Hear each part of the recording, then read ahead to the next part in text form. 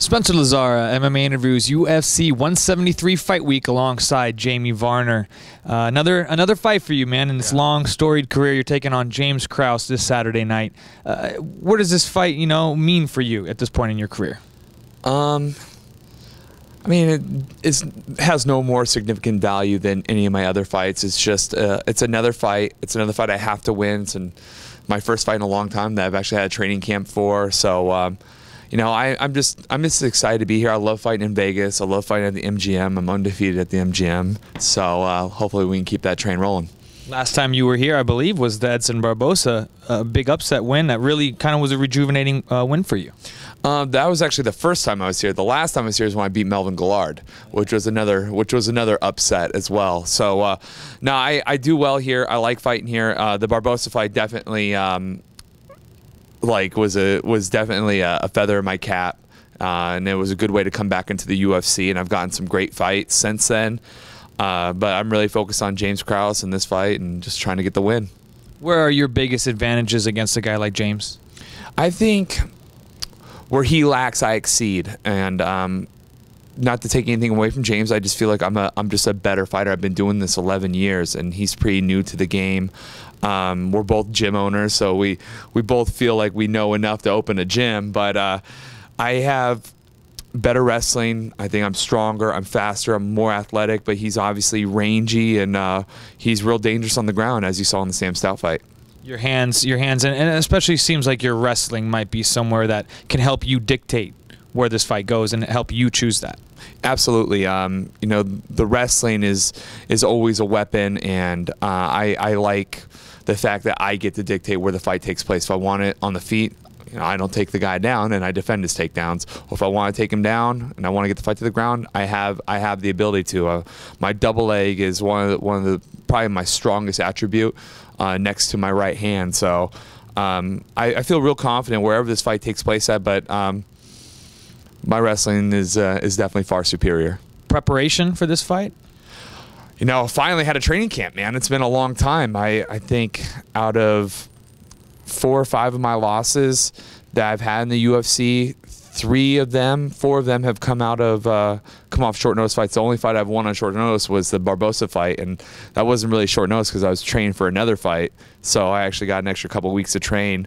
Um, but the fact that I had a train camp, I'm, I'm undefeated in the UFC with the train camp. I beat Jason Gilliam and I also beat uh, Melvin Guillard. Every other fight I've taken on short notice, so I'm feeling pretty good about this one. The weight cut for you, you were just saying you hate it. Yeah. How is it at, at this point?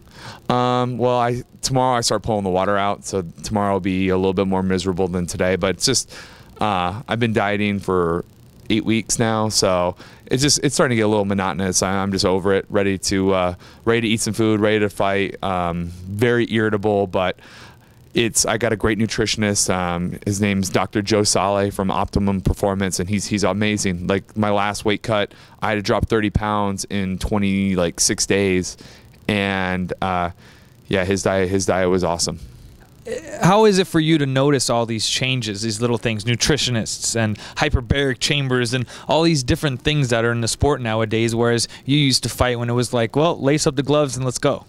Uh, it's definitely nice. I wish I would have known. Uh, known now what I knew back then, or know known back then what I knew what I know now. It's just uh, it's crazy, like all these different ways to train and help prepare and um, get ready for these fights. Uh, I, I would I would eat a power bar and I thought whatever whatever it weighed is what it was going to put on me. I didn't even think about sodium and different things like that or high fat content, high protein, carbohydrates, how they bind to water.